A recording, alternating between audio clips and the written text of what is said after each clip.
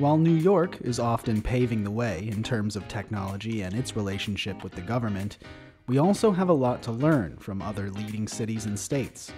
Hosted by Tom Allon, publisher of City and State, and Julie Samuels, president and executive director of Tech NYC, How'd They Do It? Tech in the Cities is the bi weekly podcast addressing the groundbreakers in technology and government who have had innovative ideas that have passed into laws or revolutionary concepts that might not work in certain states but could be applied in others. What is the purpose of How'd They Do It? Tech in the Cities?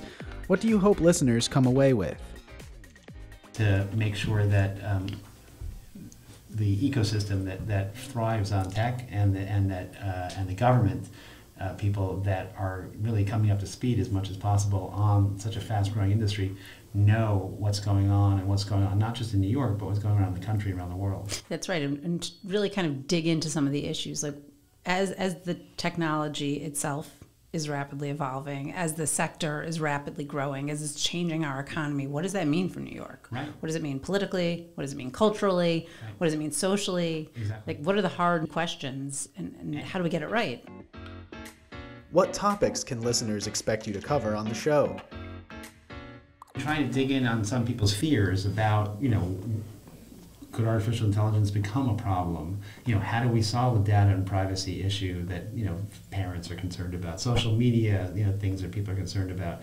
You know, these are all solvable problems, but we need to inform the leadership of this country how to do that. And so we hope that we can bring in the smartest minds here, academics, you know, people who work in, in tech, people who work in other industries, to suggest ways that we can solve some of these issues. And what I'm so excited about is exploring not just necessarily there are legislative solutions, there are regulatory solutions, there are things we can do as a community, Mm-hmm. there are uh, kinds of ways to educate people. The answers are are all Multifold. different. Right, that's right. There's so many different ways to talk about this stuff. But the biggest mistake would be to not talk about these issues. Exactly.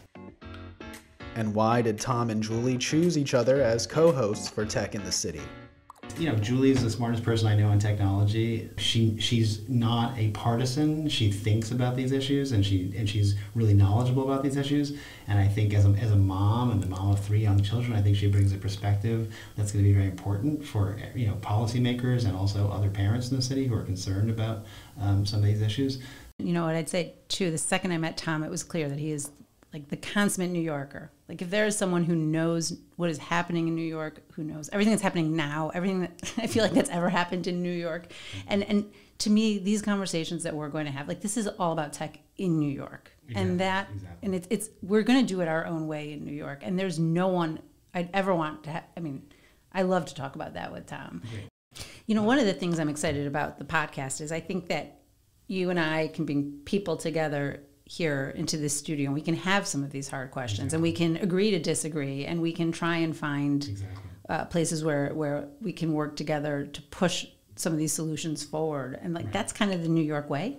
Exactly, and I'm I'm excited to bring in people of different opinions. I mean, you know, we're you know, media unfortunately these days are, is like an echo chamber. You know, it's you're either watching people on the left or on the right, but you don't see enough good media that puts people in debates. That's right. and, and really smart debates talking about smart issues.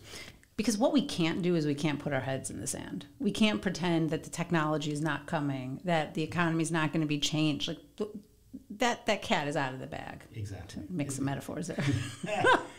exactly. The, the horse is out of the barn. the, the disruption is already happening, and people, you know, it's affected a lot of people, and it's going to affect a lot more people as AI becomes more prevalent. Right. And I think, again, government has to get ahead of this as opposed to, to chase it.